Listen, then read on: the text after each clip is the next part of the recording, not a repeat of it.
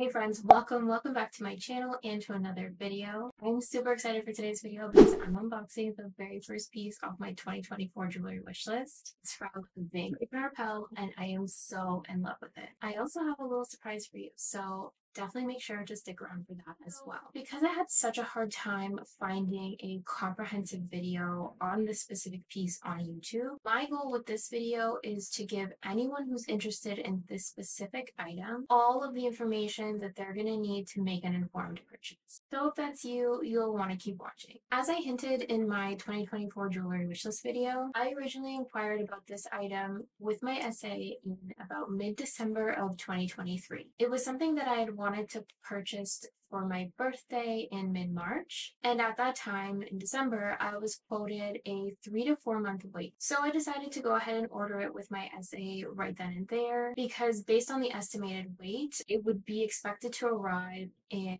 mid March at the earliest, so just in time for my birthday, mid April at the latest. But it ended up coming in the first week of February, so over two months early. And I'm super impatient, you know, I could not wait for my birthday to open it. You know, so over the moon excited when my SA texted me to say that it had arrived. I went in to pick it up the next day and walked out of the store wearing it. Right, before I say anything else, let's get into the unboxing and we can chat more about it afterwards. So no surprise here, this item is from Van Cleef & Arpels. My SA actually left VCA at the end of February, so I'm really happy my piece came in early because I got to see him before he left. He gave me this box of chocolates, which was really nice of him, because who doesn't love VCA goodies? Here's my invoice and the care booklet with the certificate of authenticity.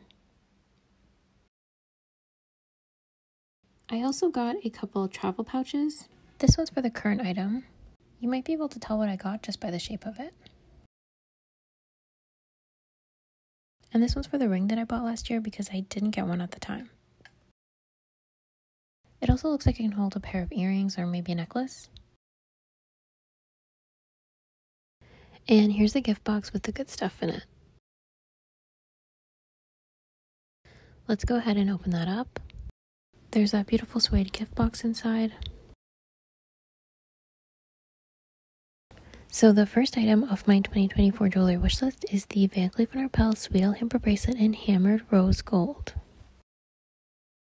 I am in love, guys. This bracelet is so stunning. I also love how the link chain catches light because as you can see, it gives off this really nice sparkle and shine throughout the chain. Of course, the main feature of the bracelet is the single clover motif that's iconic of the Alhambra collection. The motif itself features this really lovely hammered effect in the middle and a distinctive beaded contour around the edges. Overall, it's a beautifully crafted piece with a lot of detail and sparkle. Guys, I loved this piece so much and I'm so happy that I even came across it. Like, I didn't know that this existed a few months ago. And the day after I found it online, I ordered it. Normally, I'm not so impulsive, but this was really actually only like a half impulse. So, quick backstory because the only other item that I have from Van Cleef & Arpels is this Pearls of Gold ring in a small bottle. And I knew that I wanted my second piece to be the Sweet Alhambra bracelet with the single clover motif. But the only Sweet Clover bracelet that I was aware of was the yellow gold Sweet Alhambra bracelet with the mother of pearl motif. And the reason that I didn't pull the trigger earlier on the version with the mother of pearl is because everyone says that it's such a sensitive stone and that there's a lot of variation in the stone itself. It's not that I don't take care of my jewelry because I do. Like I've said before, I don't typically wear my jewelry 24 7 or house. So none of it really has as much opportunity to get damaged as it would if I were someone who did wear my jewelry 24 7. But if I were like wearing it while washing my hands, which is something I do tons of times every day, I would worry that, you know, it might get wet, that damaging the stone or accidentally hitting it or scratching it against something. Not that I walk around like banging my wrist on things throughout the day, but I think that that happens more than we realize. And I wouldn't want to come to that realization at the expense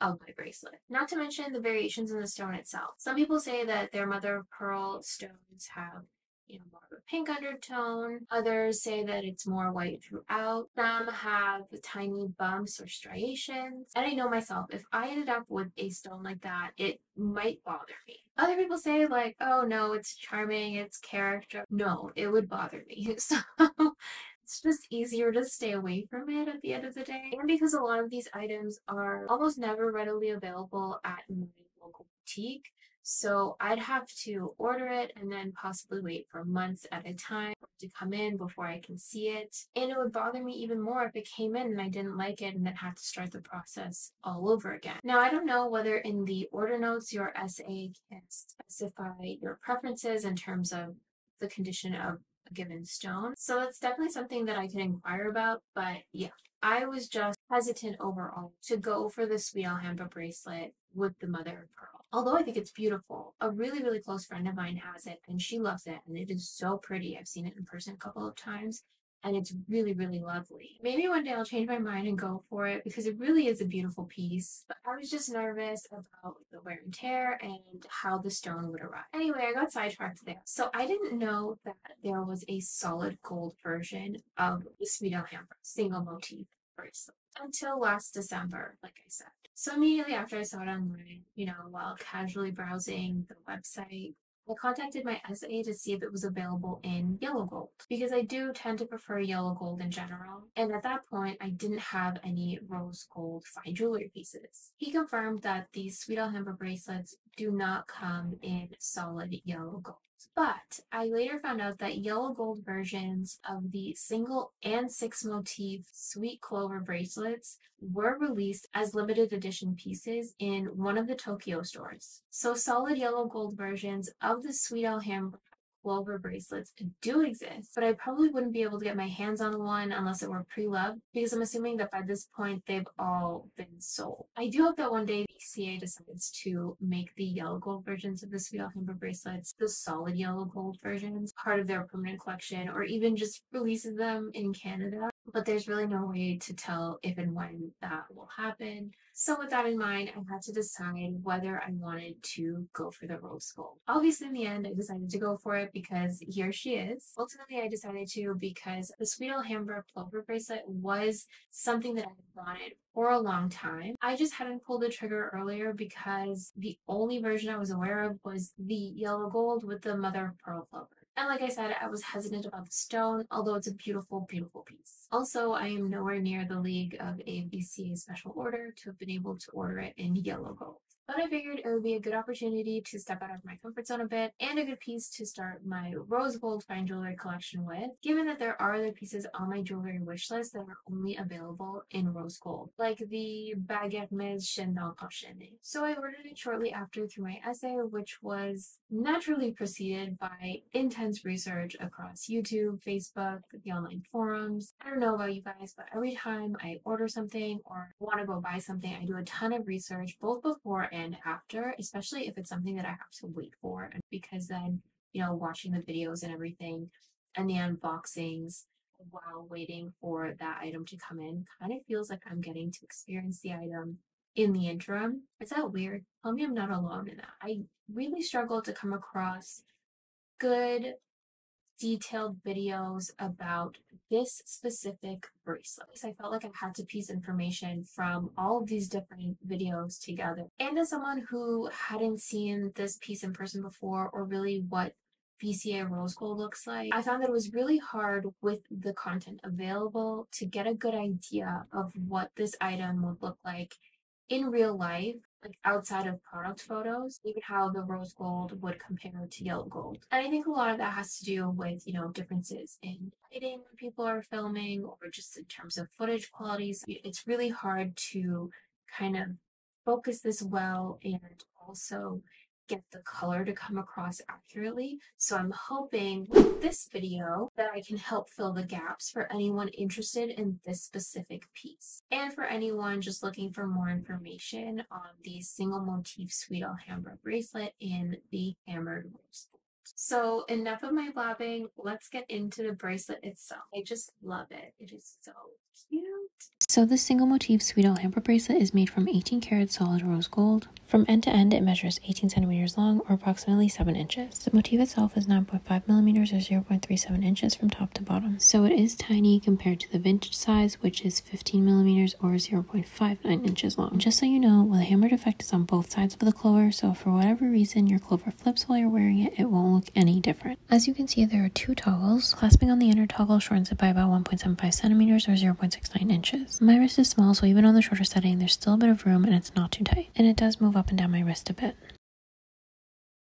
And although I'd prefer for it to just sit still around here, with a chain like this, I really wouldn't want it to be super tight either because I feel like that could get uncomfortable. So I really haven't thought about resizing it, but if your wrist is even smaller and you think this would be much too roomy, VCA does offer resizing services. And FYI, VCA resizing is complimentary within the first 12 months after purchase.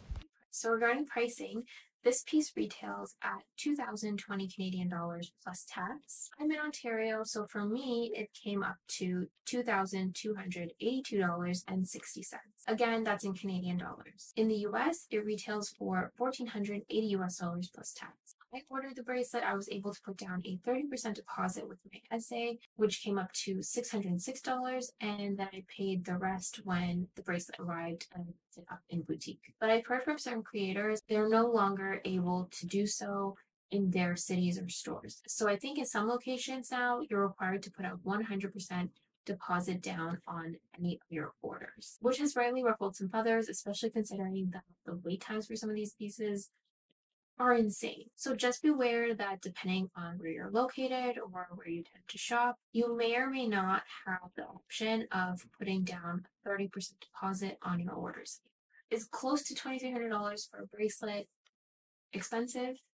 Yes. 100%. Whether it's worth it comes down to the individual buyer. Personally, I love it. I plan to have it forever. So for me, yes, it's worth it, especially as someone who likes dainty, understated pieces. I also think it's a great piece if you love the Alhambra line you're ready for a vintage size piece just yet, but would still like a piece of the collection in the meantime. Or if you prefer the daintiness of the sweet size versus the statement of the vintage and magic size pieces. Another thing that I really like about it is that it is quite low maintenance. Unlike the mother of pearl version, for example, I don't have to worry about it like getting wet because it is solid gold. Also, it's not a very like flat piece, so you're not going to see a whole bunch of scratches on it. And FYI, you can take it into the store for cleaning, but I've heard most people say that with their solid gold VCA pieces, they just gently clean it with mild soap and warm water.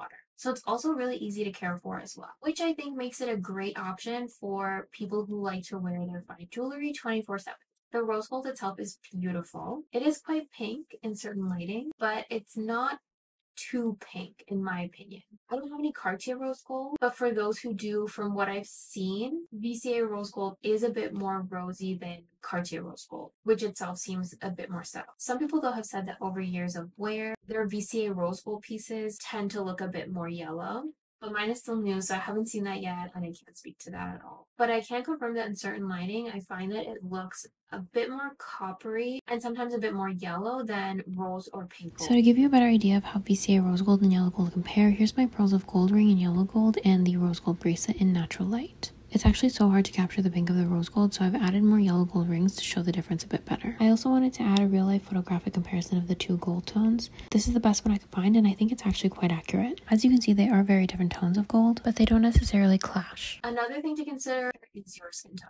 Rose gold is quite versatile and is known to suit both warm and cool skin tones. I think it all just comes down to personal preference. I personally really like the subtlety of the rose gold against my skin, but some people might want it to stand out more. If you really want a good idea of what the rose gold will look like on you, I would say try and visit a local boutique if you have access to one and try on any of their rose gold pieces. It doesn't have to be the one that you want because they might not have it in stock. But just try any of their rose gold pieces against your skin and see how you like it. Personally, I was just too lazy to go into store. So that's why I resorted to like my research versus, you know, making an appointment to go in. Also, I don't know how often this item is available to pick up in store or order online. My home store tends to get limited inventory, so most things have to be ordered unless you know, you get lucky on the day that you visit. Personally, whenever I've looked online for this bracelet, I've always seen the order by phone prompt. So I imagine that it's currently only something that you can order through your SA or store or by calling into client services. But I'm not sure if that's true everywhere, so correct me if I'm wrong. Recently, I've heard that hammered pieces have been quoted some really crazy wait times, like up to one year in some cases. And I've also heard that they've stopped taking orders entirely for certain pieces until the backlog is cleared. But yeah, for this, depending on where you are, you may have to wait three or four months or longer. Considering all of that, the four months quoted for me I thought it was pretty decent. And it came in two, which ended up not being so bad after all. So maybe the wait times that they quote are sometimes to account for unexpected delays. Because remember, there's only one workshop that's servicing all VCA orders from around the world. I'm sure it gets really, really hard to keep up with demand. So if you're interested in buying this piece for an event or a milestone or a celebration, start looking in your local boutique or order by phone or through your SA a few months in advance so that it arrives in time. Also, side note, I'm super grateful that I was able to get the travel pouches for both of my pieces. I know some people have said that they've had a hard time getting travel pouches and stuff from their boutiques or from their SAs, especially since VCA announced that they would no longer be making those items. Now I believe that any pouches we do get are like leftover inventory. So if any of you need pouches, it wouldn't hurt to ask your SA or your store, and I would say to do so sooner rather than later before inventory runs out. If you can't tell, I love, love, love this bracelet. I'm so glad that I went for the rose gold after all, and I'm really looking forward to adding the six motif version next. I think this bracelet is so beautiful. It's so dainty and understated, but it still has some sparkle and detail, and it has that iconic clover that we all know and love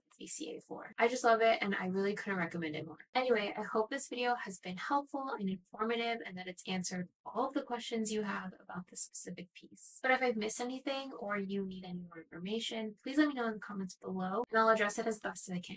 If you've made it this far, thank you so much for sticking around. Before I go though, I have a little announcement for you all. I mentioned in my notes a couple weeks ago, but for those of you who didn't see that, I want to let you know that I'm going to be doing a small Hermes giveaway around my birthday as kind of a thank you for just being here, listening to me babble, and being so supportive, and to kind of share in the birthday vibe. I already kind of know the items that I want to pick up, so I'm hoping that they're all in stock. But just in case I have to tweak my plans a bit, I won't share what they are until I have them in hand and I'm able to unbox them for you. And everything that I unbox for myself is exactly what you're going to get as the giveaway plan is to release that video on or around my birthday. And in that video, I'll also share the giveaway rules and how to enter. Definitely stay tuned for that and make sure you subscribe so you don't miss out. So that's the first piece off my 2024 jewelry wishlist, guys. I hope you enjoyed watching and that this video was helpful for those of you who are interested in buying the same piece. I'd definitely love to hear your thoughts on it too, so let me know in the comments. And if you're looking for more videos on Van Cleef & Arpels items, make sure to check out Reshmi underscore beauty around the world. She has some amazing VCA and Cartier pieces actually.